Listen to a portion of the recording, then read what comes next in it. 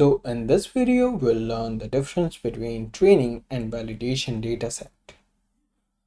So in machine learning, the main purpose of training dataset is to learning the patterns in that dataset. The model learns each and every pattern in the dataset.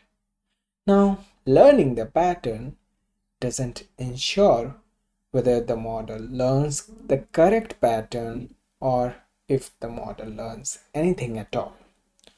So this is where the validation dataset comes into picture. It is used for testing whether the model has learned the correct patterns in the data or whether it has learned anything at all.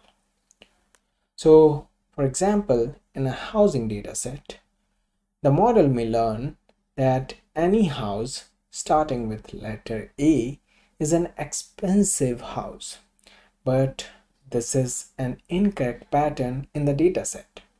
So when we use the validation dataset and test our model, we will get incorrect results.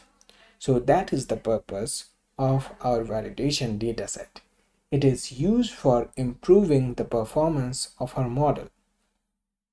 It is used for tuning the hyperparameters in our model or even changing the model if it doesn't work well. We can use an analogy to understand it better. So, teaching something, this is analogous to training dataset.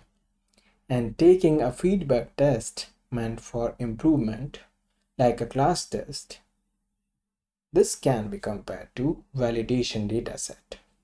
Now we have another dataset called test dataset. This can be analogous to a final exam after one has improved.